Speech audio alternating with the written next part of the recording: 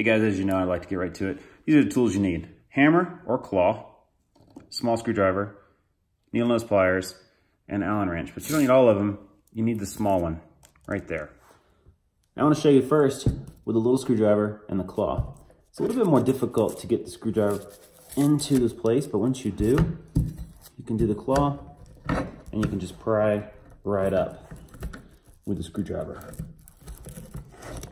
Boom. Your staple's out. Not my favorite way. Next, let's try the claw and the Allen wrench. You'll notice the Allen wrench actually fits in between the staple. Get the claw, boom. Nice, I like that way a lot. Now the drawback to using this guy is sometimes it'll turn on you and you won't be able to catch it. So you have to get it just right in order to pull it up, but it works really good. Now, let's show you using this guy and the hammer.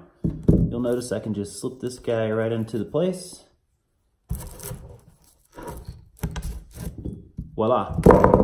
I really like this method. However, let's show you using a needle nose pair of pliers and the hammer. Some of these will be really difficult to get to, so you'll have to put the front end of the needle nose pliers right into place, take the claw, pull right up. Also another easy way to do it. If you prefer to use the pry tool, you can put the edge of the needle nose pliers, use the pry tool, done. Now, you may be better with a pry tool than a hammer, your choice. But these are household tools that you usually have lying around in your toolbox. Again, this is a super easy method, but you have to make sure you have the alignment. This one, it's okay. And if that's all you have, then that's great. This one will work even if this won't fit into the eye hole.